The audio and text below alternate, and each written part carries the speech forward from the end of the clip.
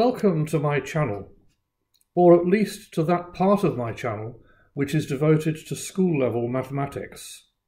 Some time ago I made a video which I put on this channel which explained the classic proof of Pythagoras' theorem and also a more modern proof using techniques that were probably not available to the ancient Greeks.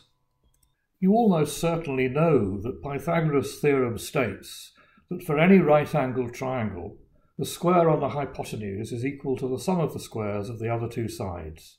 So in this case, h squared will equal a squared plus b squared. Classic example, of course, is the 3, 4, 5 triangle. Um, a right angle triangle with sides 3 and 4 will have a hypotenuse of 5, but also the other way round. If the triangle has sides of 3, 4 and 5, then it will be a right angle triangle. And of course, 3 squared plus 4 squared equals 5 squared, so you can see that this satisfies Pythagoras' theorem. This video is rather different. It is about a practical application of Pythagoras' theorem. It's a real-life application in the sense that it solves a problem that I have at the moment, and I'll just explain how the situation arises. Now, if you've seen any of my uh, spreadsheets uh, videos, you might know that I am a member of a local shed club. And uh, in earlier versions, the earlier ones of those videos, I used a fictitious Shed Club's members list as a basis for the um, discussion on spreadsheets. Shed Clubs make things and sell them in the community, basically. And one of the things I thought I might make was some model toys. Now, um, what I need to do, therefore, is to find the templates of parts for these model toys and then draw the parts onto the wood. The parts come from templates which are in a book, and it is a book which is a paper book, not an electronic book, and the templates are essentially full size printed out on the page. And the um, problem arises from getting these from the book onto the wood. Now, the book that I'm using is this one that was published in 1986. And the particular model I was going to use is of this uh, biplane, as a simple wooden model, as you can see, which I think it might just about would it be within my competence to make. And the part that is going to interest us for the purposes of this video is just the tailplane here. How do I, how do I draw this tailplane onto a piece of wood? Now, I don't know whether this kind of model is going to appeal to modern children. Um, I think it would only be very young children, but the author clearly thinks that models like this do appeal to young children. On the other hand, the book was written in 1986, and this is rather an old-fashioned aeroplane. On the other hand, as long as I provide my own wood rather than use Shed Club wood, um, and there'll be a couple of planks because the fuselage is slightly thicker than the rest of the aircraft. As long as I do that, I'm not using anyone else's wood, it doesn't really matter if it's not a, if it's not a success, and it will at least enable me to hone, or perhaps to hone, my woodworking skills. As I say, we're interested only in the tailplane here. Now, the book, as I say, has life-size templates, and this is the template for the uh, tailplane. And what I want to do is to transfer this onto the plank of wood so that I can then carve this into this shape uh, from the wood. Now, obviously, one way I could do this would be to use tracing paper to trace it, and then to use a carbon to transfer the traced tailplane to the wood. But this would require me to be quite good at drawing, and, and I'm a bit unsteady, so I don't really fancy doing that. I think I want to construct this using a, a, compass and a ruler, and I'm assuming that the front of the tailplane here forms the arc or part of the arc of a circle. It may not, but that's what I'm assuming. Anyway, and one advantage, of course, of using a, a, a, sorry compass and ruler is that you can draw it to any scale that you like. You don't have to use this scale. You can make it half scale or twice scale, whatever you like, which obviously you can't really do with tracing. Anyway, let's have a look at this. Um, look at this uh, tailplane in slightly more detail. Um, getting my ruler out, I can see that it's roughly speaking, as near as makes no difference. 11 centimeters in width from one side to the other, and that its um, depth, I suppose, or length is 4 centimeters. So what I want to do then is to draw this tailplane uh, 11 centimeters wide and with an arc that goes through both ends at 11 centimeters and also through uh, four, uh, a point four centimetres away from the back of the tailplane in the middle of the tailplane. That's essentially the problem that this um, video is concerned with. How do I do that? Where do I put the point of the compass in order to do that? For the purposes of the video, I'm going to draw onto a sheet of paper simply because I think it's clearer, it'll be clearer to see than it would if I were to use the wood that I would actually use to draw the tailplane. So we'll take a ruler, a straight edge for the uh, back part of the tailplane, and we'll draw a line. That's going to be the back of the tailplane. As I say, I draw this directly onto the wood uh, uh, eventually, but for now, we'll try it out on a piece of paper. Uh, as we saw, the tailplane is 11 centimetres wide, so I'm going to mark off the uh, zero point and the 11 centimetres on this line. That now is going to be the back part of the tailplane. Now next I want to draw uh, the centre point of the, of the tailplane because uh, that's going to be uh, important for what continues. So we're going to go five and a half centimetres, we draw, we make a third point.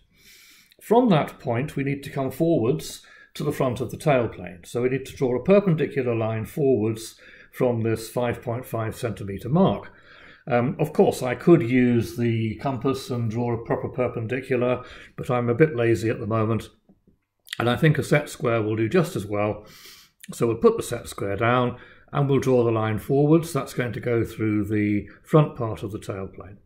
Now we need to measure off the four centimetres because as you know the uh, tailplane is four centimetres in length. And so what we're essentially needing to do now is to draw an arc that goes through these three points here that I've just drawn, the two at the end of the 11 centimetre wide uh, tailplane and the one four, four centimetres in front of that line. So those are the three points. Um, now I've extended the line backwards with a ruler and uh, this line will, or somewhere on this line, will be the centre of the circle of which the front of the tailplane forms an arc. So I'm going to put a compass point somewhere along that line. And really, the question that we're asking in this video is where on that line should I put it? You see, I could put it, there's the compass, so the question is where does it go? Um, it, it, needs to go through those uh, two points at the end, and it also needs to go through the other point uh, at the front of the tailplane. Now, if I put it too far away from the back of the tailplane like this, you can see that it doesn't go far enough forwards. It's going to make a, a tailplane which is not sufficiently deep. It's nowhere near four centimetres. It's not even half that. If, on the other hand, I put it very close to the line, such as there, again going through the 11 centimetre end points, uh, you'll find that it goes too far forwards. So now we've made a tailplane that's too deep. And so the question is, where exactly on this line do I put it? I've found a place that's too far back and I've found a place that's too far forward. But we don't really know where to put it. And that's essentially the question I'm going to ask now. Okay then, let's have a look at this problem in slightly more detail. I've drawn here essentially what we're going to we're trying to end up with. Um, we have a tailplane whose back is 11 centimeters wide, so 5.5 centimeters from the center point on each side of the line. That's the vertical line here. And I've drawn uh, an arc, and the idea is that this arc should go through a point which is four centimeters from the back of the tailplane. So that's what we're trying to do. Um, right of, to the right of the part to the right of the line that is inside the arc represents the tailplane itself, and it's shown by these two red arrows. Now, in order to, make this work, we're going to need to create some right-angled triangles. And so we'll start by drawing lines, uh, essentially joining up the three points that we want uh, the arc to pass through. That's there.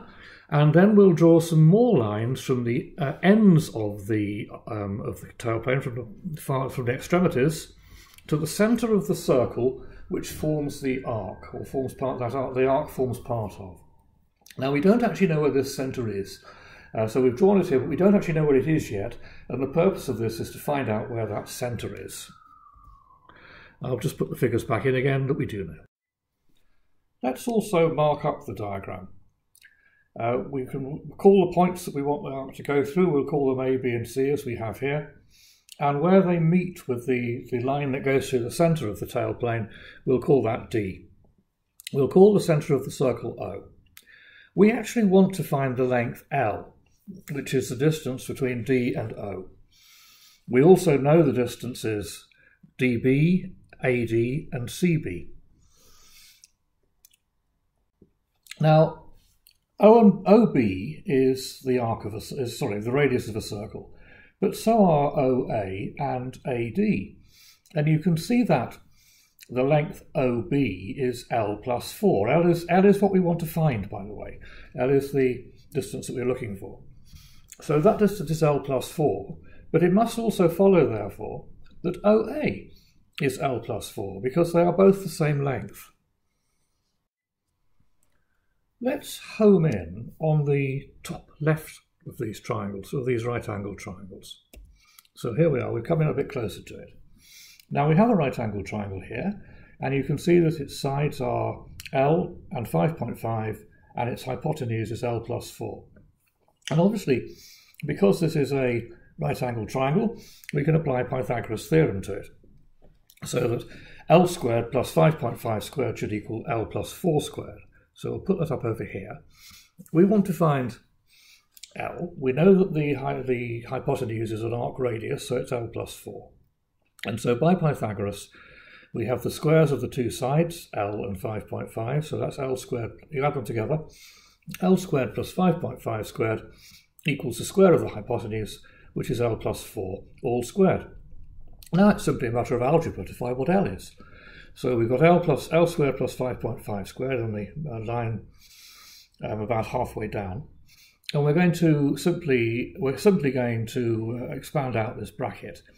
And I think you know that a plus b all squared equals a squared plus 2ab plus b squared.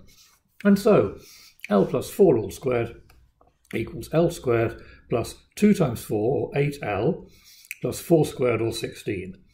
So we've got that L squared plus 5.5 squared equals L squared plus 8L plus 16. Now we subtract L squared from both sides and we get 5.5 squared equals 8L plus 16. Or now subtracting 16 from both sides, so we're taking 16 really to the other side, we can see that 5.5 squared minus 16 equals 8L, or 8L equals 5.5 squared minus 16. And now it's simply a matter of arithmetic to get the answer that we want to the value of L. So going through the arithmetic then, we have 8L equals 5.5 squared minus 16. Now 5.5 squared, of course you can look it up on a calculator, but it's actually quite easy to calculate because it is 5 plus 0.5 all squared. And again, looking at the a plus b all squared equals a squared plus 2ab plus b squared, 5 plus 0.5 squared equals 25, that's 5 squared, plus twice 0.5, which is 1, times 5, uh, plus 0.5 squared, which is 0.25, and if you add those together, 25 plus 5 plus, plus 0.25, you get 30.25. So that means that 8L equals 30.25 minus 16, which is obviously 14.25. And by dividing them, again, you can do this on a calculator if you want. L equals 1.78125. That's the answer we want. That tells us where the centre of the circle is. As I say, you can do this by calculator if you want, but the division is actually pretty straightforward. And here I've set out the division for you if you want to go through it. Well, let's plug that number in and make sure that it works.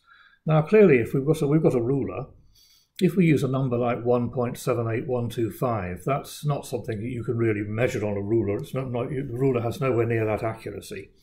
But it's about 1.8, isn't it? Let's use 1.8. And we can just about estimate 1.8 and draw a centre for the arc here. So we'll do that.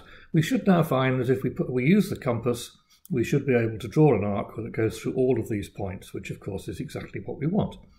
So here we are, we'll get the compass. We'll start off by going through the point at the top of the line and see that we go through the other two as well.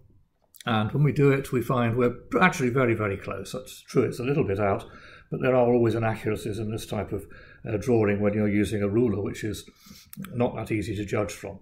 But I think we have a result there.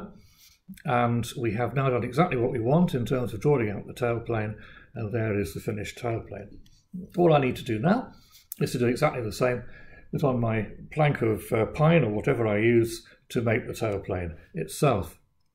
Well then, we have now used Pythagoras successfully to solve a relatively simple and straightforward, but actually a genuine problem. This is using Pythagoras in real life, albeit slightly whimsical life perhaps. And so all I think I need to do now is to say thank you very much for watching and please subscribe to this channel if you like this type of video.